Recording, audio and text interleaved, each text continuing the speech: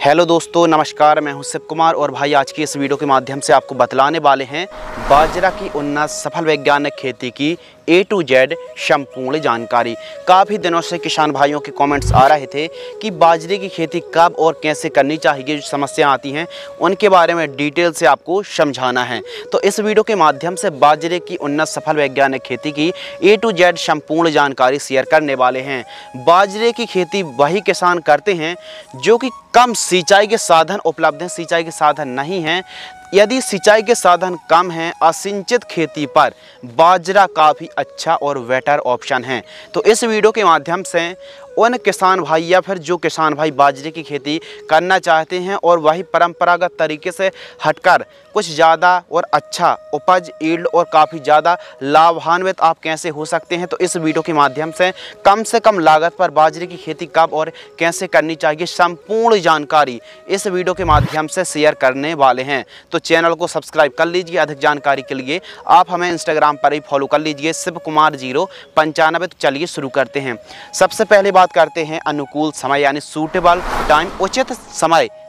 कौन सा है बाजरे की खेती करने के लिए? तो जून और जुलाई महीना काफ़ी बढ़िया माना जाता है। यदि आप जून और जुलाई महीने पर बाजरा की खेती करते हैं तो काफ़ी अच्छे से फ़सल ग्रोइंग हो पाती है। जलवायु और तापक्रम। यानी क्लाइमेट्स कंडीशन के ऊपर बात करें हैं तो बाजरे की क्रॉप खरीफ सीज़न की प्रमुख फ़सल है और यह एक अनाज वर्गीय फ़सल भी है और पशु आहार के रूप में, बाजरे को हरी घास के रूप में काफ़ी बड़ी मात्रा पर इस्तेमाल किया जाता है। पशुओं को खिलाने के लिए घास के रूप में इसका भी इस्तेमाल बड़ी मात्रा में किया जाता है। बाकी अनाज वर्गीय फ़सल है, खरीफ सीज़न की प्रमुख फ़सल है और यह जो क्रॉप है, इसमें मध्यम तापक्रम की आवश्यकता होती है और टेम्परेचर के बारे में बात करें तो 12 से 15 डिग्री सेल्सियस न्यूनतम टेम्परेचर और अधिकतम की बात करें तो 32 से 35 के आसपास यदि डिग्री सेल्सियस तापक्रम होता है तो बहुत ही शानदार तरीके से ग्रोइंग देखने के लिए मिलती है। वैसे भी खरीफ सीज़न में बरसात होती है तो ज़्यादा सिंचाई करने की आवश्यकता नहीं होती और जहाँ पर सिंचाई के साधन पर्याप्त मात्रा नहीं है, वहाँ पर हमारे किसान भाई पर्याप्त मात्रा पर या फिर उपयुक्त उपज निकाल पाएँगी आप बाजरा की क्रॉप क्योंकि असिंचित खेती पर भी काफ़ी अच्छे से उपज आप निकाल सकते हैं। असिंचित क्रॉप है यह। इसमें ज़्यादा सिंचाई की आवश्यकता नहीं होती है। बात कर लेते हैं भूमि और खेत की तैयारी। तो भूमि के बारे में बात करें तो इसको आप यानी बाजरे की क्रॉप अच्छा उत्पादन, काली दोमट मिट्टी पर काफ़ी अच्छा प्राप्त होता है। उपयुक्त जीवाश्म पदार्थ वाली सॉइल पर आप खेती कर सकते हैं, चाहे काली मिट्टी हो, काली दोमट हो, चिकनी दोमट हो, पीली मिट्टी हो, लाल मिट्टी हो, काली मिट्टी हो या फिर काली दोमट, बालू दोमट भी आपके लिए काफ़ी बढ़िया रहने वाली है दोस्तों। तो इस प्रकार की सॉइल बस सॉइल की पीएच वैल्यू फाइव से लेकर सेवन तक चल जाती है। उत्तम जल निकास का प्रबंध होना चाहिए, यानी बरसात बरसात हो गई तो खेत से पानी निकल जाए इस प्रकार की व्यवस्था होनी चाहिए, खेत के चारों तरफ़ साफ़ सफ़ाई होना चाहिए। फार्म प्रिपरेशन, खेत की तैयारी सर्वप्रथम मीडियम गहरा में चलने वाले कल्टिवेटर तक, फिर दो साल से पहली और दूसरी आपको प्लॉइंग कराना है। और अंतिम जुताई में दो से तीन ट्रॉली गोबर खाद पूरे खेत में बिखेर कर एकदम रोटा बेटर से मिट्टी को भुरभुरी करा लेना है, एकदम खेत को समतल करा लेना इस प्रकार आपको खेत की तैयारी करना चाहिए। आइए बात करते हैं उन्नतशील किस्में, जो कि काफ़ी अच्छा उत्पादन देने वाली जो वैरायटी हैं, जैसे क्रिस्टल की रायग्रो के नाम से आती है। इसके अलावा पायोनियर की छियासी एम अठासी, राशि की अठारह, सत्ताईस के नाम से आती है। श्री राम की चौरासी, चौरानबे के नाम से आती है। इसके अलावा जैनित एक्स एल सत्तर सत्तर आती है और नाइन स्टार के नाम से आती है। कावेरी की सुपर बॉस के नाम से आती है। H H V six seven के नाम से आती है और आर एच बी एक सौ सत्ताईस के नाम से। यह इन जो वैरायटी के नाम हमने आपको बतलाए हैं, काफ़ी अच्छा उत्पादन देते हैं, खासकर पायोनियर राशि श्रीराम और कावेरी यह जो वैरायटी हैं, काफ़ी अच्छा उत्पादन देने वाली यह किस्में हैं। आइए दोस्तों बात करते हैं प्रति एकड़ सीड्स यदि बाजरे की खेती आप एक एकड़ पर कर रहे हैं तो सीड्स की रिक्वायरमेंट लगभग लगभग 1.5 यानी डेढ़ किलोग्राम से लेकर दो किलोग्राम टू के के आसपास सीड्स की आवश्यकता होती है। एक एकड़ में यदि आप खेती कर रहे हैं। बात करते हैं बीज उपचार। तो बीज उपचार करने के लिए आप ट्राइकोडर्मा सबसे बेस्ट ऑप्शन एक किलोग्राम बीजों को पाँच ग्राम ट्राइकोडर्मा या फिर स्ट्रेप्टोसाइक्लिन सल्फेट से बीज उपचार करने में काफ़ी बढ़िया फ़ायदा होता है। बाकी आप कार्बेंडाजम मैंकोजेब से तो आप कर ही सकते। कार्बेंडाजम प्लस मैंकोजेब यदि फपूंदनाशक से बीज उपचार कर रहे हैं तो आपको एक किलोग्राम बीजों को पाँच ग्राम फपूंदनाशक से बीज उपचार करने पर काफ़ी बढ़िया आपको रिज़ल्ट प्राप्त होंगे जर्मिनेशन और अंकुरण देखने के लिए। मिलते हैं तो बीज उपचार आपको ज़रूर करना चाहिए। चाहे थायराम हो, कार्बेंडाजम हो, साफ़ हो, या फिर बाबिस्टेन हो, या फिर ट्राइकोडर्मा हो, या फिर स्ट्रेप्टोसाइक्लिन सल्फेट हो। बीज उपचार करने से काफ़ी बढ़िया आपको रिज़ल्ट फ़ायदे प्राप्त होंगे, लेकिन हम आपको रिकमेंडेड करेंगे कि कोई सस्ते से सस्ती फपूनाशक से ही आपको बीज उपचार करना चाहिए। आइए दोस्तों बात करते हैं बेसल डोज, यानी बुआई के समय खाद। तो देखिए, ज़्यादातर किसान भाई बुआई के समय कोई भी खाद नहीं देते हैं। इसीलिए तो उत्पादन उपज में गिरावट देखने के लिए मिलती है। तो इसके लिए आप एक काम करें कि जब बुआई कर रहे हैं तो ज़्यादा से ज़्यादा न्यूट्रियन की यदि पूर्ति करते हैं यदि आपको यकीन फ़सल को हरी भरी रखनी है, फ़सल से ज़्यादा से ज़्यादा उत्पादन निकालना है तो इसके लिए दोस्तों, आप बाजरे की क्रॉप पर स्टार्टिंग के दिनों पर, शुरुआती दिनों पर न्यूट्रिएंट की पूर्ति ज़रूर करें। दो से तीन ट्राली गोबरी खाद तो प्रयोग करनी ही है। उसके अलावा SSP single super phosphate powder form वाली 50 kilogram DAP di ammonium phosphate और अबरा खाद 50 किलोग्राम और एमओपी म्यूरेट और पोटास 60 परसेंट वाली 20 किलोग्राम। इन तीन चारों को आपको मिक्स करना है और ठीक तरीके से खेत में बिखेर कर आपको बुआई कर देना है और एक एकड़ में दो किलोग्राम सीड्स पर्याप्त है। प्लांट डिस्टेंस, यानी जब बाजरे की खेती हम करते हैं, सोइंग करते हैं, बुआई करते हैं तो डिस्टेंस दूरी कितनी रखनी चाहिए? ब्रॉडकास्ट विधि भी काफ़ी बढ़िया छटका विधि से तो कर सकते हैं, लेकिन एक एक्चुअली पर कितना डिस्टेंस हमको रखना चाहिए सीड ड्रिल मेथड से कर रहे हैं तो देखिए सीड से सीड्स की दूरी यानी पौधे से पौधे की आपको दूरी रखनी है 10 से 20 सेंटीमीटर काफ़ी हम तो कहते हैं 15 सेंटीमीटर यदि रखते हैं तो काफ़ी बढ़िया यह डिस्टेंस है। इसके अलावा लान से लान की दूरी पंक्ति से पंक्ति की आपको दूरी रखनी है 30 सेंटीमीटर 30 से 45 सेंटीमीटर वहाँ की 30 सेंटीमीटर काफ़ी बढ़िया डेप्थ की बात करें, गहराई की बात करें दोस्तों तो लगभग लगभग तीन से चार सेंटीमीटर गहराई पर आपको बुआई करना चाहिए, पाँच सेंटीमीटर तक काफ़ी बढ़िया रहती है। तो आप सीड्रल मेथड से ही बुआई कर सकते हैं और बाकी आप ब्रॉडकास्ट यानी छटका विधि से भी आप बुआई कर सकते हैं। यदि आप सीड्रल मेथड से कर रहे हैं तो सीड्स दो किलोग्राम लगेगा। जाएगा और आप छटका विधि सीधे बिजाई करते हैं हाथ से तो लगभग लगभग तीन किलोग्राम तक सीड्स लग सकता है। लेकिन आपको एक एकड़ में दो किलोग्राम ही सीड्स की बुआई करनी चाहिए। हाई डेंसिटी होने पर भी प्रोडक्शन कम होता है तो स्पेस भी होना बहुत ही ज़रूरी है। तो यह दूरी काफ़ी उचित है, अनुकूल है और बढ़िया है। सिंचाई यानी एरीगेशन तो देखिए, बाजरे की क्रॉप है, असिंचित खेती है, यानी असिंचित खेती है तो पर्याप्त मात्रा सिंचाई के साधन नहीं है तो अभी हमारे किसान भाई बाजरे की खेती कर सकते हैं, खरीफ सीज़न की प्रमुख फ़सल है। जैसे ही आप बुआई करते हैं तो बरसात आ जाती है। कम बरसात वाले क्षेत्रों पर, इलाकों पर भी बाजरे की खेती की जा सकती है, बाजरे को उगाया जा सकता है। लेकिन यदि सिंचाई के बारे में बात करें, सिंचाई के साधन हैं तो देखिए, पहली सिंचाई बुआई के तुरंत बाद और दूसरी सिंचाई आप चाहें तो जब बाजरा की मैच्योरिटी वाली स्टेज होती है। फ्लावरिंग स्टेज से पाँच से दस दिन पहले सिंचाई आप कर सकते हैं। यदि जड़ों के पास पर्याप्त मात्रा पर नमी है, जब दाने का भराव हो रहा हो फ्लावरिंग स्टेज पर हो तो उस समय सिंचाई करने से काफ़ी अच्छा फ़ायदा होता है। तो इस प्रकार आप स्ट्रेटजी को अपना सकते हैं। बाकी सिंचाई के साधन भी नहीं हैं तो अभी बाजरे की क्रॉप पर ज़्यादा सिंचाई करने की आवश्यकता नहीं होती है और सिंचाई के साधन पर्याप्त मात्रा पर हैं। तो सिंचाई, दो सिंचाई आप ज़रूर करना चाहिए। ज़रूर आप सिंचाई कर सकते हैं, कोई दिक्कत की बात नहीं है। बस ज़्यादा सिंचाई करने से भी पीलापन की समस्या ज़रूर आती है तो इसलिए सिंचाई आवश्यकता अनुसार ही आपको वाटर मैनेजमेंट को सुधार के रखना चाहिए।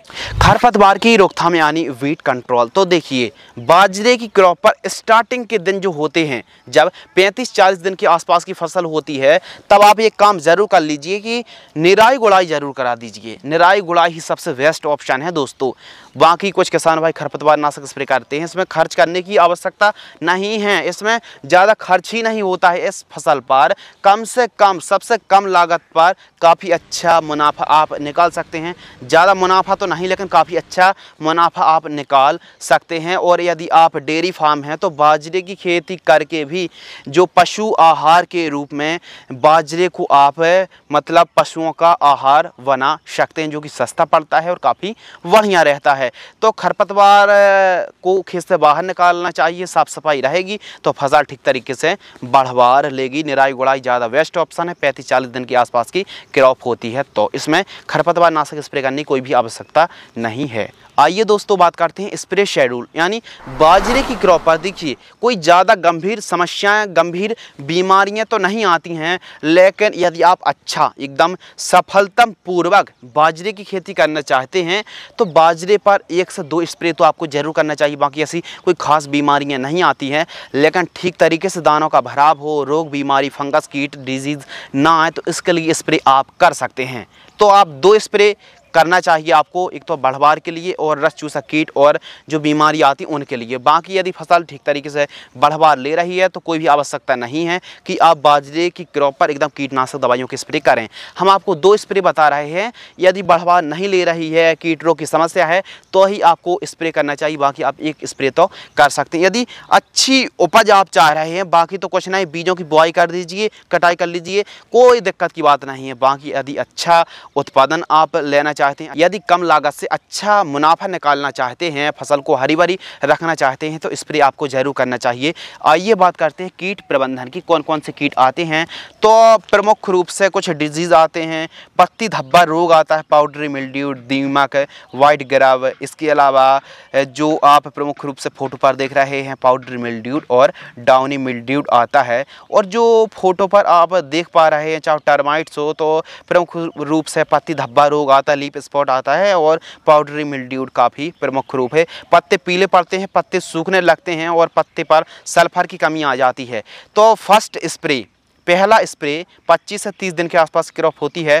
तो सिंजेंटा कंपनी की एक तारा 10 ग्राम लेना, यूपीएल की साफ़ 40 ग्राम 15 लीटर पानी घोल करके स्प्रे आपको ज़रूर करना है। और स्प्रे जब भी कर रहे हैं, बरसात हो या फिर ना हो, पत्तों पर घोल ठीक तरीके से चिपके तो इसके लिए आप स्टीकर ज़रूर मिलाकर स्प्रे करें। ये तो हो गया पहला spray. Second spray second spray 40 से 50 दिन के आसपास की क्रॉप होती है तो आपको रोको फंगिसाइड 40 ग्राम लेना है। स्ट्रेप्टोसाइक्लिन सल्फेट, जो कि बैक्टीरियल विलाइट पर काफ़ी अच्छा काम करेगी। दो ग्राम लेना है और वायर कंपनी की मोमेंटो एनर्जी आपको लेना पच्चीस एमएल इन तीनों को मिक्स करना है, पंद्रह लीटर पानी में घोल करके आपको स्प्रे करना है, स्टीकर मिला करके। हम आपको बाजरे की फ़सल पर जो स्प्रे का शेड्यूल बतला रहे हैं, दो स्प्रे करने की बिल्कुल भी आवश्यकता नहीं है, केवल एक स्प्रे से काम चल जाता है, यदि रोग बीमारी ही दिख रही है, तभी आपको एक या फिर दो स्प्रे करना चाहिए। आइए दोस्तों बात करते हैं खाद का शेड्यूल यानी फर्टिगेशन शेड्यूल तो खाद का शेड्यूल फ़र्स्ट खाद, क्योंकि न्यूट्रियन की पूर्ति हम करेंगे तो काफ़ी अच्छे से फ़ायदा होगा। फ़र्स्ट खाद तीस से पैंतीस दिन के आसपास की होती है तो सल्फ़र तीन kilogram urea 45 kilogram micro nutrient 5 kilogram और सागरिका दानेदार 5 किलोग्राम। इन चारों को मिक्स करके जड़ों के पास देकर आप सिंचाई कर दीजिए और फिर आप उत्पादन देखिए, उपज देखिए और ईल्ड देखिए। तो इस प्रकार आपको केवल एक कॉम्बिनेशन का इस्तेमाल करना है। जड़ों के पास देकर हम तो कहते हैं कि पैंतीस चालीस दिन के आसपास क्रॉप होती है तो निराई गुड़ाई आप करें और इस खाद को देकर सिंचाई कर दीजिए, बढ़िया आपको रिज़ल्ट प्राप्त होंगे। बात कर लेते हैं लाइफ साइकिल, यानी बाजरे की क्रॉप टोटल कितने दिन की है? परिपक्व होने में, मैच्योर होने पर, हार्वेस्टिंग के लिए 90 दिन से लेकर 110 दिन के आसपास का टाइम लग जाता है 105 110 दिन के आसपास का टाइम लग जाता है हार्वेस्टिंग के लिए। कम से कम तीन, सवा तीन, साढ़े तीन महीने के आसपास की यह टोटल फ़सल है। आइए दोस्तों बात करते हैं बाज़ार भाव यानी मार्केटिंग रेट तो एमएसपी पर लगभग लगभग तेईस सौ पचास रुपये के आसपास, प्रति कुंटल के आसपास की कीमतें हमको देखने के लिए मिलती हैं मार्केटिंग रेट देखने के लिए मिलता है। बात कर लेते हैं लागत यानी पर एकड़ कॉस्ट तो एक एकड़ पर सभी एक्सपेंसेस को काट कर एक एकड़ पर जो लागत है, चाहे आपका बीज का खर्च हो, यदि आप स्प्रे और खाद और बेसल डोज और खेत की तैयारी करते समय और हार्वेस्टिंग संपूर्ण खर्च को यदि इंक्लूड करें तो आठ हज़ार रुपये से लेकर दस हज़ार रुपये के आसपास एक एकड़ का खर्च आता है। बात कर लेते हैं उत्पादन। तो एक एकड़ में लगभग लगभग 20 से 25 कुंटल के आसपास हमको उपज प्राप्त होती है। 20 से 22 कुंटल एक एकड़ से उत्पादन देखने के लिए मिलता है। यदि आप परंपरागत तरीके से हटकर बाजरे की खेती जो हम विधि बताई, मेथड बताई और यदि आप बेड में बनाकर, बेड विधि से बाजरे की खेती करते हैं तो इससे भी कम से कम पाँच क्विंटल उत्पादन बढ़ जाएगा। बाजरे का जो दाने का वज़न है, काफ़ी बढ़िया देखने के लिए मिलेगा। दाने का भराव अच्छा होगा। तो आप चाहें तो बेड बनाकर भी आप बाजरे की खेती कर सकते हैं। बात कर लेते हैं मुनाफा। तो मुनाफा डिपेंड करता है उत्पादन पर और मार्केटिंग रेट पर। तेईस सौ पचास रुपये एम एस पी का ही हम रेट ले लेते हैं प्रति क्विंटल और एक एकड़ में मान लीजिए बीस क्विंटल के आसपास हमारी उपज प्राप्त हुई। तो तेईस सौ पचास में यदि हम बीस का इंटू कर देंगे तो सैंतालीस हज़ार रुपये के आसपास हमारी जो मुनाफा है, जो हमारा बेनिफिट है, वो होगा सैंतालीस हज़ार रुपये अब सैंतालीस हज़ार रुपये में से हम आठ हज़ार रुपये घटा देंगे लागत को। तो सैंतालीस हज़ार में से आठ हज़ार घटाएँगे तो उनतालीस हज़ार रुपये के आसपास हमारी आमदनी हुई नेट प्रॉफिट हुआ। तो ये मान लीजिए एक एकड़ से हमारे किसान भाई उनतालीस चालीस हज़ार रुपये के आसपास एक एकड़ से कमाई कर सकते हैं। अब बहुत कम है, लेकिन तीन महीने की फ़सल है तो इस प्रकार तीन चार एकड़ पर आप खेती करते हैं और सिंचाई के साधन पर्याप्त मात्रा पर नहीं है तो अभी आप बाजरे की खेती से काफ़ी अच्छे से मुनाफा कमाई कर सकते हैं। बाकी आप पशु आहार के रूप में भी बाजरे की खेती कर सकते हैं। तो दोस्तों, आइए बात करते हैं कि बाजरे की खेती कौन किसान भाइयों को करना चाहिए? तो देखिए, यदि आप परंपरागत तरीके से बाजरे की खेती करते आ रहे हैं तो मॉडिफिकेशन आप ज़रूर करें इस वीडियो को देखकर। बाजरे की खेती उन्हीं किसान भाइयों को करना चाहिए, जहाँ पर सिंचाई के साधन पर्याप्त मात्रा पर नहीं हैं, या फिर सिंचाई के साधन नहीं हैं, या फिर हल्की भूमि है, या फिर आप खेती पर प्रॉपर उतनी देखभाल नहीं करते हैं तो बाजरे की आप बुआई कर सकते हैं। बाजरे की खेती करना तो ठीक है। पशुओं से बचाना बहुत ही ज़रूरी है तो खेत के चारों तरफ़ फेंसिंग कर दीजिए और पक्षियों से बचाना। पैरट प्रमुख रूप से और पशु पक्षी, स्पेशल पक्षी काफ़ी ज़्यादा जब बाजरा मैच्योरिटी की स्टेज पर होता है, एकदम दाने भराव की स्टेज पर होती है तो तोते काफ़ी ज़्यादा परेशान करते हैं तो इसके लिए देसी जुगाड़ आप अपना सकते हैं, जिससे पक्षी ही आपकी फ़सल पर ना बैठें। तो इस प्रकार आप बाजरे की खेती करते हैं तो ये तो नहीं कह सकते कि बहुत अच्छी मोटा मुनाफा कमा सकते हैं, लेकिन जी हाँ इस वीडियो को देखकर आप भाई परंपरागत तरीके से जो उत्पादन लेते आ रहे हैं, उससे ज़्यादा उत्पादन देखने के लिए मिलेगा, उससे ज़्यादा आपको मुनाफा देखने के लिए मिलेगा। तो उम्मीद करते हैं इस वीडियो से आपको कुछ नया नॉलेजेबल सीखने के लिए ज़रूर मिला होगा। यदि आपको यह वीडियो पसंद आती है तो वीडियो को लाइक करें, चैनल को सब्सक्राइब करें, अधिक जानकारी के लिए आप हमें इंस्टाग्राम पर ही फॉलो कर लीजिए शिव कुमार ज़ीरो पंचानबे। तो मिलते हैं इसी प्रकार के रसिकार से जुड़ी नई नॉलेजेबल महत्वपूर्ण जानकारी के साथ। तब तक के लिए धन्यवाद नमस्कार जय हिंद वंदे मातरम।